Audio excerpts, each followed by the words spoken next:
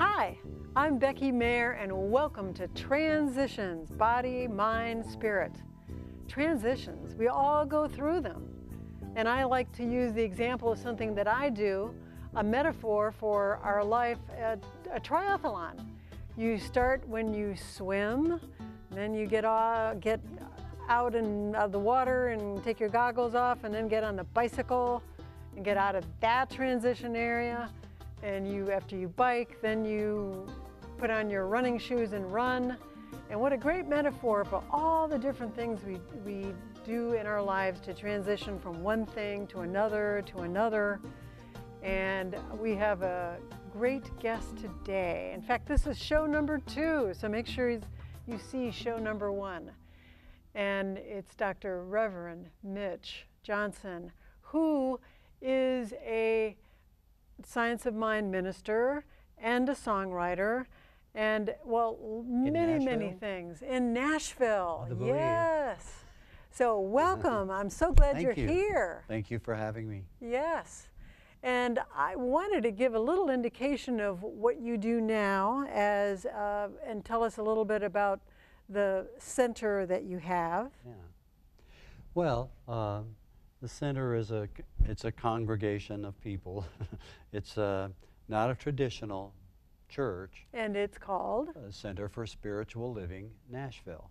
Center for Spiritual Living Nashville, and uh, we teach the philosophy of the science of mind. Now, the science of mind, I should say this because we changed our name t- from religious science to the Center for Spiritual Living because everyone asked us, they said, well, are you Scientology? No, we're not Scientology. Are you Christian Science? No, we're not Christian Science. We're the Centers for Spiritual Living. We teach the science of mind. The science of mind uh, was written by a man named Ernest Holmes, Dr. Ernest Holmes.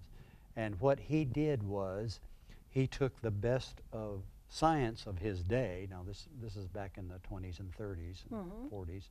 He took the best of science of his day, the best of religion, and the best of philosophy, and he combined it to see, well, what, what works in life? Mhm. What can, what can I take from this, all of these things, and make practical use of it in my life? Mhm. And so he started teaching something that we call prayer treatment. Now, treatment is just basically this. Uh, if you follow the teachings of Jesus, where Jesus said, when you pray, believe you have received. Words, Believe. believe you have received as if it's already done. And that's how I perform miracles, right? right. So, uh, so this, so Dr. Holmes took that idea and he said, okay, uh, if if Jesus did it, and it's part of the whole New Thought movement, and New Thought was called New Thought Christianity. It was taking a look at Christianity and saying, now, what things did Jesus teach that really made sense? Mhm. And so, if in fact, if you read in the book of John, it says all Jesus says all these things that I do, you can do, and even greater, Mhm. even greater. So, so it's within the potential and possibility of every human being to create so-called miracles, but uh, what we would necessarily call them miracles, as though there's something supernatural. The supernatural is in our believing, in our faith that something is really so. Mhm. So, uh, so he taught this business called prayer treatment, and what it was was a series of words and ideas and feelings and pictures all combined in your mind to convince you that the prayer you were saying was really so. Mhm. So you're part of something so incredible and so large. You want to call it the universe, and now the scientists are saying universes within universes. I mean, we're talking big, right? Mhm. So, Infinite. Infinite and eternal. Yes. And so this thing, this creative field of energy, has created you, which also means something really startling. It means you can use it to create something in your life. This is what Dr. Holmes used to say. There's a Mhm. power for good in the universe greater than I am, and we can use it. and you can tap into it. it's Yeah. so it's uh, it's not that I want the job of God, you know. I don't. It's too big for me.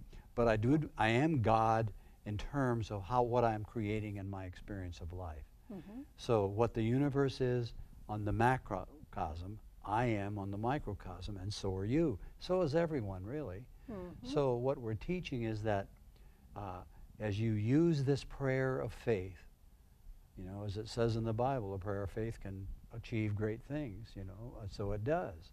Mhm. And a prayer of faith, a faith believing, of, of having a sense that, yes, this is really true.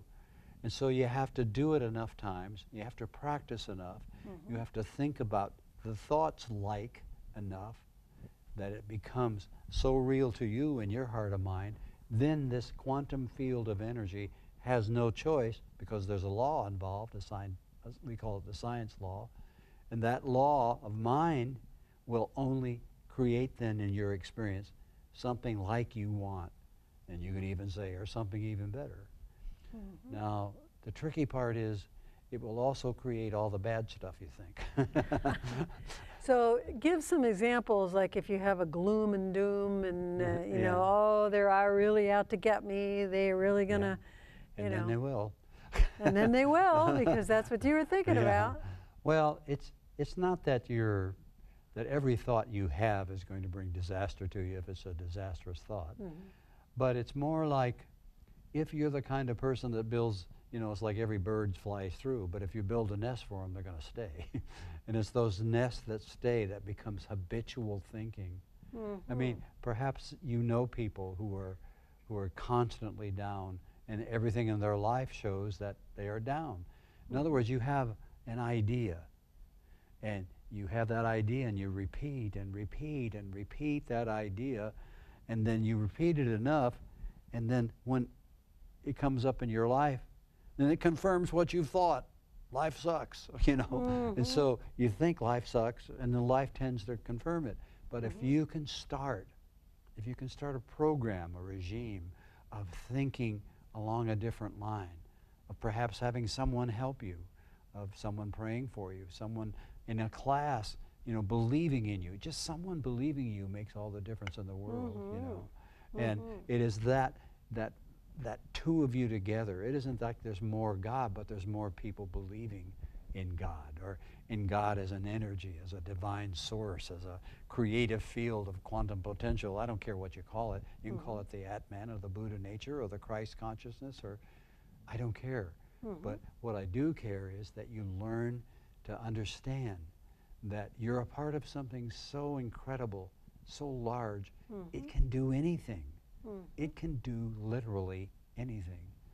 Um, someone always asks me in class, they say, well, what is God anyhow? And I, I don't know, you know. Hmm. See, if I, and people always say, well, you mean you think you've got the answer to everything? I said, no, Hmm. no, I don't know. I don't think there is a final answer.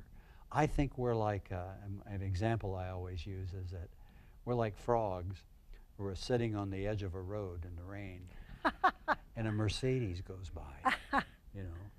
Does the frog know what that Mercedes is? Maybe it thinks, oh, that Mercedes is an animal or something. I better be careful. It might eat me.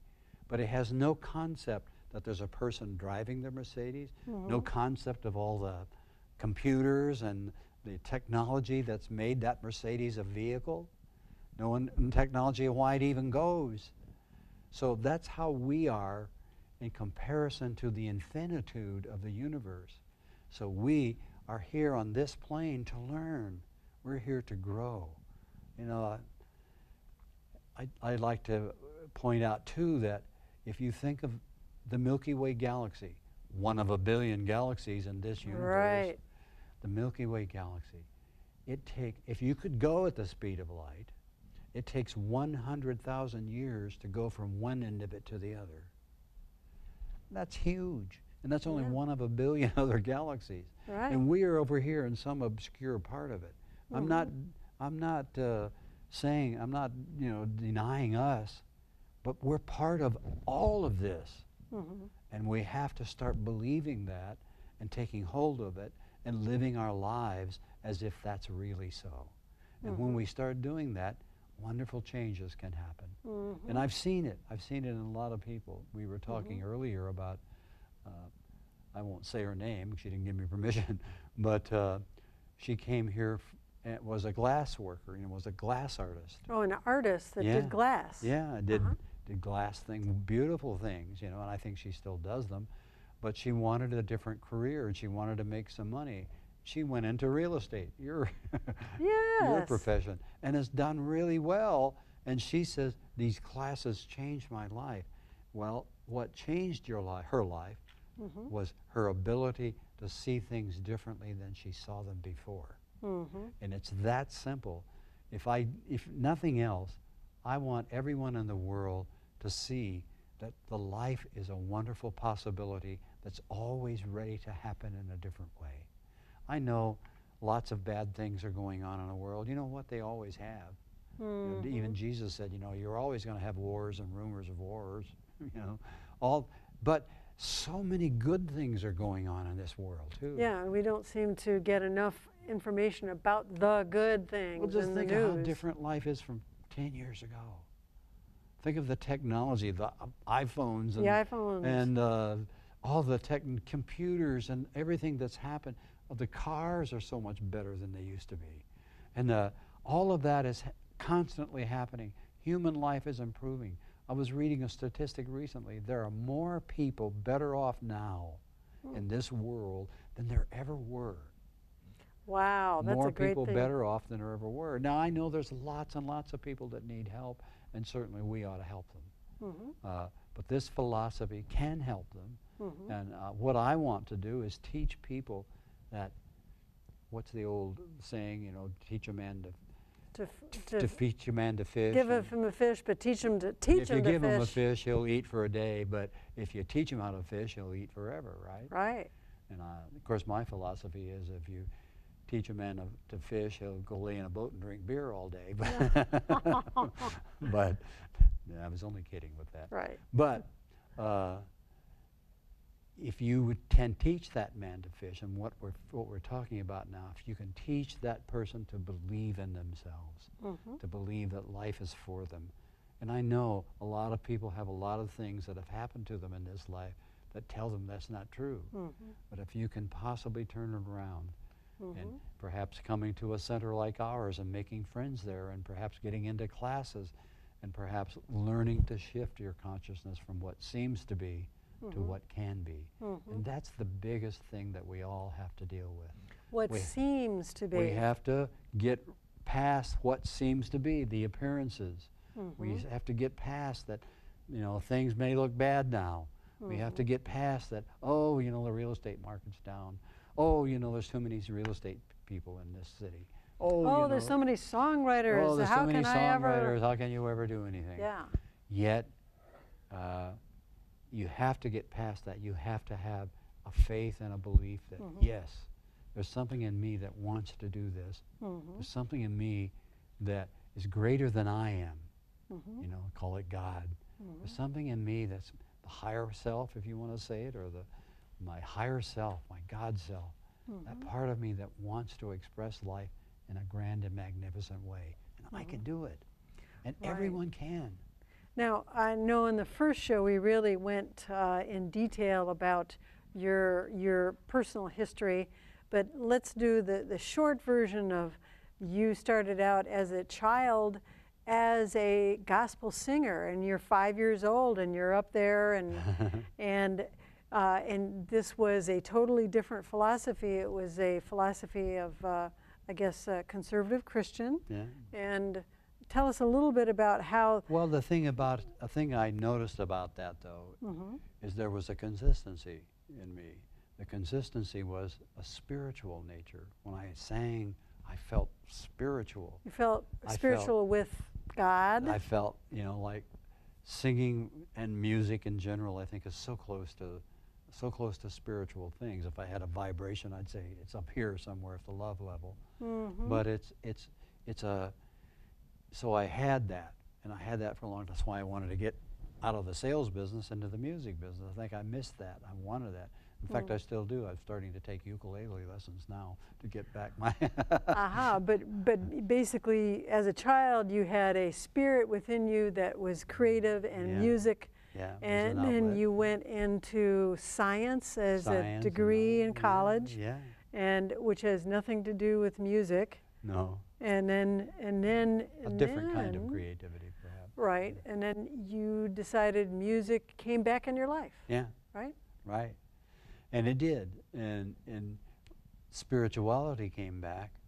In when a different form, though. Well, It wasn't but you it was being in the Baptist church. No, but it was still, oh, God and love and my heart God, love, in your heart. instead of my head. So much of people have said to me, you know, well, science of mind is very intellectual. Well, yes, I suppose you could say that, but uh, it's also hard. It's like I tell people they've got to take that 12-inch journey from their head to their heart. You've got to, yeah, you can intellectualize and you can write out a prayer, but it has to be felt here in your heart. You have to feel that this is really happening, and then it will. hmm Hmm. And then you also talked about at one point you were at a low point Yeah. and uh, you started to learn more about this philosophy and it did start to change your life Yes. and that brought you uh, maybe a relationship had to end and then you brought you a new wonderful woman in your life that uh, she just i guess sadly passed away last year but you had many many years together Yeah. and you brought that in your life and then the movement from you were in the south went to california and then brought this philosophy Back to in. nashville Yeah. they're back in the south Back in the South. yes Y'all. Yeah y'all and then you also somehow must have envisioned that this philosophy is really uh, amazing and more people need to know about it who's Yeah. going to do it Yeah. And uh, so a group of people said, well, why don't you do it? You know, we like to listen to you more than we like the other ministers. I kept bringing other ministers in. and, so you decided so you'd I- start so I- a church I started it, and I started. I said, "Well, I'll hold Sunday meetings," you know. But after a couple of meetings, I went, "Oh, I'm supposed to do this. you felt the calling to be the minister of the church that I'm you were trying to supposed get be doing this," you know, and uh, it was so clear to me. That's all I can say to you. And when something is Mhm. that clear to you, hmm doors open, things fall, serendipity happens, and they Uh, all uh, happen for me. and tell us about the law of attraction you know Uh-huh. and also tell us a lot of people out there have seen the movie called the secret Yeah. All right, and that opened them up to, oh, th- th- what is this? Yeah. Uh, it's been very helpful to a lot of people to get them Yeah. to the philosophy. What is your feeling about that? Well, I think the secret did uh, did bring in. I can remember when I, it brought in a lot of people to our center Mhm. at that time. Um, a lot of people get turned off by the secret because they felt like it was too simple. But the truth is, this stuff is simple. Hmm. It's not always easy, but it is Mhm. simple. You know, the simple part is you want to create something. Well, let's see. First, you have to know what you want to create. You have to be definite. You have to say, Mhm. okay, I want, uh, you know, and you you don't have to say, well, for example, uh, I use Jack Canfield. He talked about uh, how he wanted to create a hundred thousand dollar a year, and he was had been a teacher, and he wasn't making that kind of money at all. And this is the guy that wrote uh, Chicken Soup for the Soul, Yeah, right? the Chicken Uh-huh. Soup for the Soul Okay. series, and he has a book called The Success Principles, which is excellent. Which I've taken that class, and it's a good one. And he uh, he said, I first, so I got this idea. I put a, a sign up on my on my on the ceiling in my bedroom. It said one hundred thousand dollars. And he kept looking at that sign, and he kept thinking, what would it be like to make hundred thousand dollars a year? Now remember, Mm. he isn't. And he had a mentor and a friend who kept telling him, well, here's what you have to do. You have to keep thinking about it. And you, when you get an intuition, you go do it. You know, Mhm. when you says you feel guidance to go do this, you go do it. Well, at the end of that first year, he made 98,000. He didn't hit the 100,000. But after that, he made more. And that led him to bigger and bigger things, including getting with Mark Victor Hansen and creating the Chicken Soup for the Soul series, which has made him a multi-billionaire, I think. Right. You know, but he's, uh, but he says that uh, it's that initial willingness to stick to that. You know, it's one thing. I'm not saying there's magic in putting a hundred thousand dollar symbol on your ceiling. The magic is in you looking at it enough until it becomes so clear to you that it's yours, Mhm. you will find a way to do it. Mhm. You know, we like to say in this philosophy, I don't know how some good is going to happen. I don't have to. I just have to know it's going to happen and be Right. guided to what I'm supposed to do to help make it happen. Right. You know, or another way of saying that is when say, I know what, God knows how. you know. Right, You know, right. And so that is what happens. So a lot of times people simply don't want to take the time to do that. They don't want to take the, they procrastinate, they put off what they can do.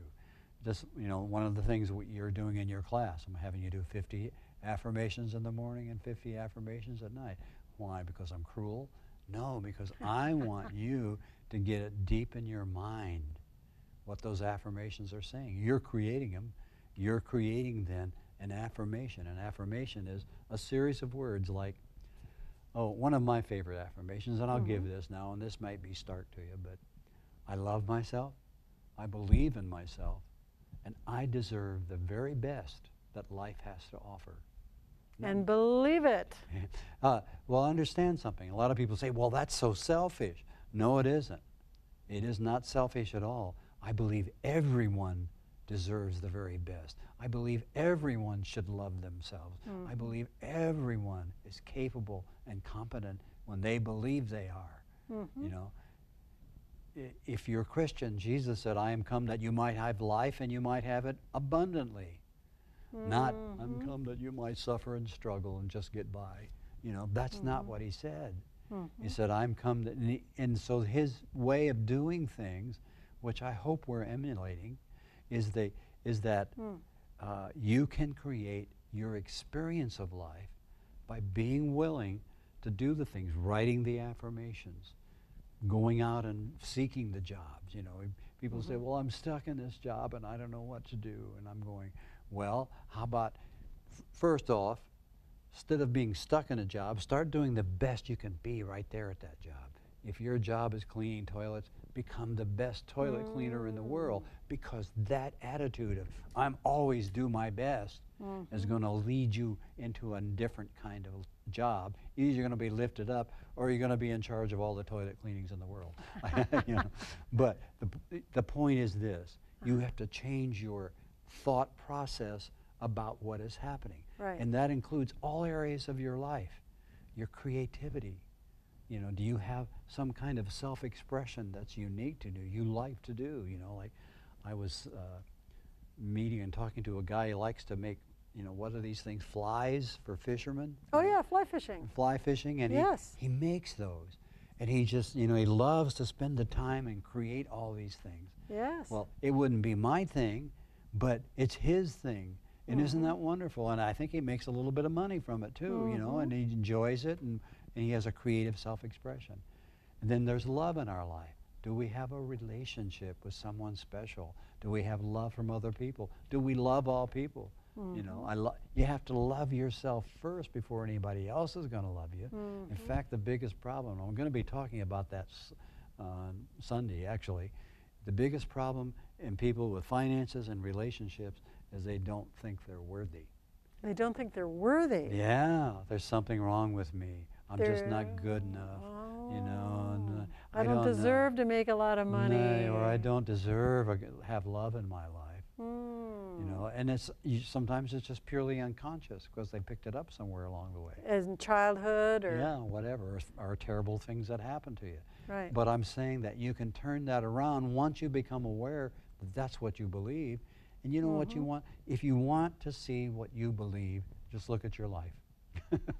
Right. that's what you believe, you know. And if you and if you're not happy with it, you can change it. you can change it and you can take uh, be in a supportive atmosphere uh, and come to your center Yeah. and take classes or if nothing else go one time to the center uh, what uh, sundays Sunday 11 a.m. 11 a.m.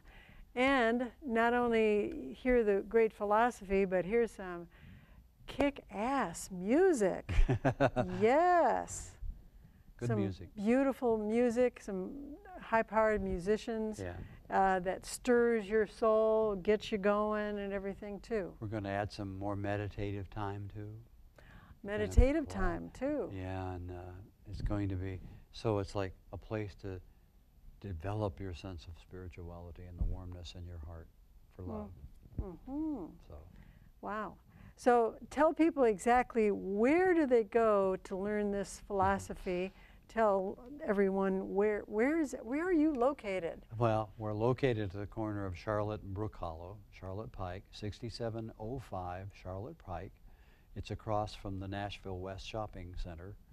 Um, if you are interested, you can go online to cslnashville.org.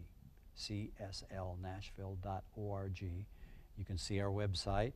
We're also on Facebook, Center for Spiritual Living Nashville. It's on Facebook, so you can look us up there. You have a newsletter too, right? Yeah, we have a newsletter that's printed, and you can get that if you come to the center. Or uh, I get an email too, yeah, email get- newsletter. if you sign up, you can. We'll send you that email you the newsletter. It's also uh, if you want to call us, uh, 615-356-0174.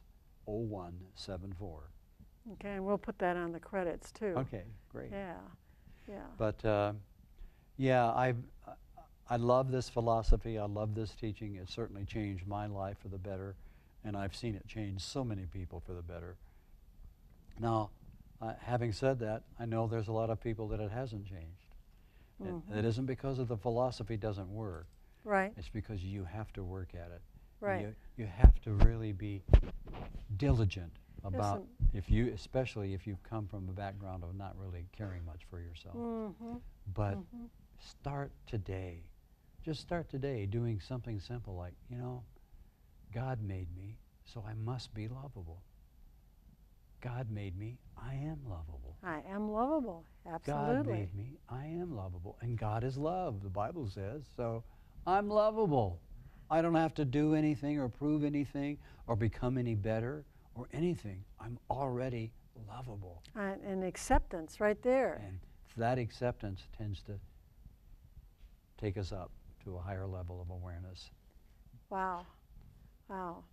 Well, I think this philosophy, I know on a personal basis, has really helped me my, from my sweetie pie love life to uh, my real estate career to uh, my own spiritual self and love of, um, of people and a feeling of community. And everybody deserves that.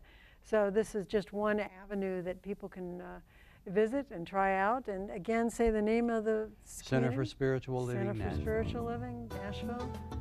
Thank you very much for being with us. Thank you for having me. Yes. Transitions, body, mind, spirit. Thank you.